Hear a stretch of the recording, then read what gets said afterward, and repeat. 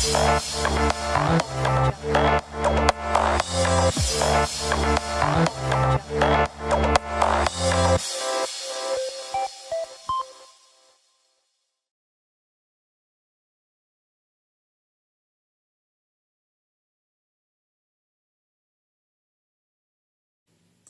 রহমান সুপ্রিয় দর্শক আশা করছি আপনারা সবাই ভালোই আছেন। আজকে আমি আপনাদেরকে পর্তুগালের ভিজিট ভিসা সম্বন্ধে একটি সংক্ষিপ্ত ধারণা দেব। আমাকে অনেক ফ্রেন্ড বন্ধু ভিউয়ার্স তারা রিকোয়েস্ট করছেন যে বাংলাদেশ থেকে কীভাবে পর্তুগালে ভিজিট ভিসায় আসা যায় সেই বিষয়ে আমি আজকে আপনাদেরকে একটি সংক্ষিপ্ত ধারণা দেব।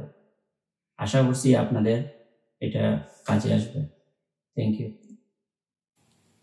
সো আপনি বাংলাদেশ থেকে ভিজিট ভিসায় পর্তুগালে আসবেন। সো আসার জন্য আপনার প্রাথমিকভাবে যে রিকোয়ারমেন্ট লাগবে, কি কি রিকোয়ারমেন্ট লাগবে সেই বিষয়ে আমি আজকে আপনাদেরকে বলব। প্রথমেই যে জিনিসটা লাগবে, এটা হচ্ছে minimum one year passport validity থাকতে হবে। আপনি যখন অ্যাপ্লাই করবেন এমবেসিতে সো আপনার পাসপোর্ট অবশ্যই খেয়াল রাখতে হবে যে যেটি মিনিমাম ওয়ান ইয়ারের ভ্যালিডিটি থাকতে হবে।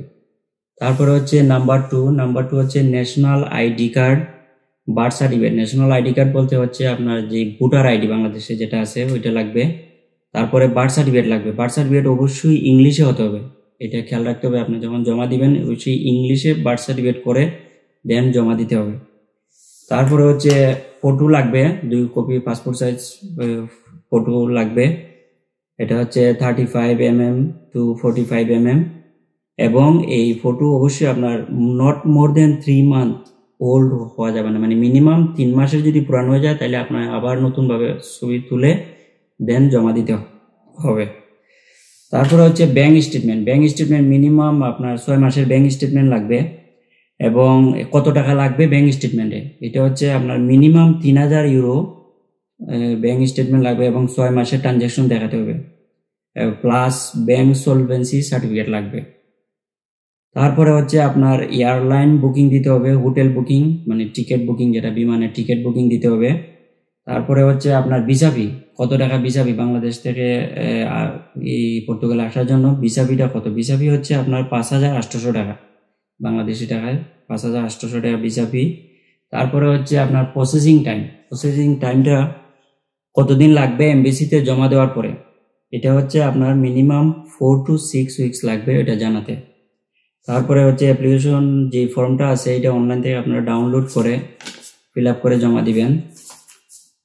তারপরে যে জিনিসটা লাগবে হচ্ছে travel insurance so minimum travel insurance করতে হবে। আপনাকে পর্তুগালে ভিজিট ভিসার জন্য ট্রাই করলে অবশ্যই ট্রাভেল ইন্স্যুরেন্স করতে হবে। ট্রাভেল ইন্স্যুরেন্সের জন্য minimum thirty thousand euro travel insurance করতে হবে। এবং ট্রাভেল ইন্স্যুরেন্স করার ক্ষেত্রে আপনার লক্ষ্য রাখতে হবে, বাংলাদেশে ওরা ইউরোপিয়ান ইউনিয়নে কিছু নির্দিষ্ট, এই ট্রাভেল ইন্স্যুরেন্স কোম্পানি যেগুলো আছে, এদেরকে ওরা সিলেক্ট করে দিছে। তার মধ্যে আমি এক্সাম্পল আপনাদেরকে ধারণা দেওয়ার জন্য বলছি। যেরকম Delta Life Insurance Company Limited Green Delta Insurance Company Limited Dhaka Insurance Company Limited Phoenix Insurance Company Limited so এইগুলোর থেকে আপনারা ট্রাভেল ইন্স্যুরেন্স করবেন। তারপরে হচ্ছে আপনার ইনভাইটেশন লেটার যদি আপনার কোনো ফ্রেন্ড বন্ধু আত্মীয় স্বজন পর্তুগালে থাকে এবং সে যদি ইনভাইটেশন লেটার দেয়, তাহলে ভিসা পাওয়ার ক্ষেত্রে এটা আরও কাজে দিবে। এবং ইনভাইটেশন লেটারে সে কোথায় থাকে পর্তুগালে, তার address phone number email address এগুলো দিতে হবে। তারপরে হচ্ছে আপনার এমপ্লয়মেন্ট হিস্টোরি আমরা, আপনি যদি বাংলাদেশে জব করেন বা বিজনেস করেন, এগুলার হিস্টোরি দিতে হবে। আপনি যদি এক্সাম্পল আপনি যদি জব করেন জব থেকে হলিডে লেটার এগুলা শো করতে হবে। আর আপনি যদি বিজনেস করেন, তাহলে ট্যাক্স এনআই এগুলা যে জিনিসগুলো আছে বিজনেস রিলেটেড এই কাগজপত্র জমা দিতে হবে। এবং আপনি যদি স্টুডেন্ট হন, তাহলে আপনার ইউনিভার্সিটি অথবা কলেজ থেকে হলিডে লেটার নিতে হবে। সো এই হচ্ছে মোটামুটি ধারণা। আপনি পর্তুগালে ভিজিট ভিসার জন্য বাংলাদেশ থেকে আসার জন্য। এখন আমি আপনাদেরকে বাস্তবিক কিছু ধারণা দেব যেটা ভিসা পাওয়ার ক্ষেত্রে আপনাকে কাজে লাগবে। এখন আপনাদেরকে আমি একটা জেনারেল আইডিয়া দিব যেটা আপনার ভিসা পাওয়ার ক্ষেত্রে কাজে লাগবে, যেটা বাস্তবিক। এরকম আপনি যদি জেনারেল ভিজিটর নতুন হন তাহলে আমি সাজেস্ট করব আপনাদেরকে যে মিনিমাম তিনটা কান্ট্রি আপনি যদি ভিজিট করেন, করার পরে যদি আপনি পর্তুগালে ভিজিট ভিসার জন্য দাঁড়ান, তাহলে কাজে লাগবে যেরকম মনে করেন আপনি ইন্ডিয়া, মালয়েশিয়া বা থাইল্যান্ড, এরকম মিনিমাম তিনটা কান্ট্রিতে যদি আপনি ভিজিট করেন, পূর্বে ট্রাভেল করেন, এই করার পরে যদি আপনি পর্তুগালে ভিজিট ভিসার জন্য দাঁড়ান, তাহলে ভিসা পাওয়ার পসিবিলিটি বেশি। আদারওয়াইজ জেনারেল ভিজিটের ক্ষেত্রে একটু প্রবলেম ইয়াং মানুষের জন্য একটু প্রবলেম হয়ে যায়। সো এই বিষয়টা আপনি খেয়াল রাখবেন। আর আপনাদের যদি ফ্যামিলি থাকে বা বাচ্চা কাচ্চা থাকে, তাহলে তাদের বার্থ সার্টিফিকেট জমা দিতে হবে।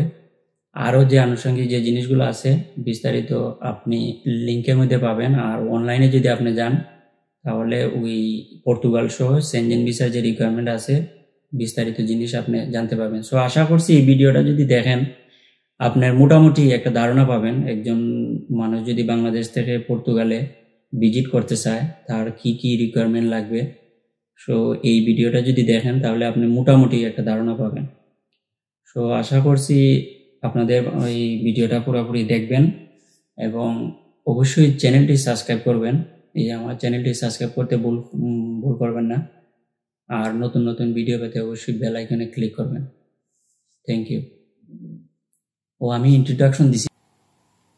আরেকটা জিনিস আমি আপনাদেরকে বলে রাখি এই পর্তুগালের এমবিসি কিন্তু বাংলাদেশে নাই। এটার জন্য অবশ্যই আপনাকে ইন্ডিয়া যেতে হইব। ইন্ডিয়া যেয়ে ফাইল সাবমিট করতে হইব নিউ দিল্লি ওখানে যেয়ে ফাইল সাবমিট করতে হইব।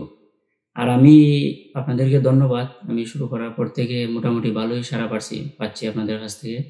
সো এইভাবে যদি লাইক কমেন্ট শেয়ার দিয়ে যান সো আরও নতুন নতুন ভিডিও আমি আপনাদের জন্য আরও মেক করব। মেক করার জন্য আরও ইন্সপিরেশন পাবো। So thank you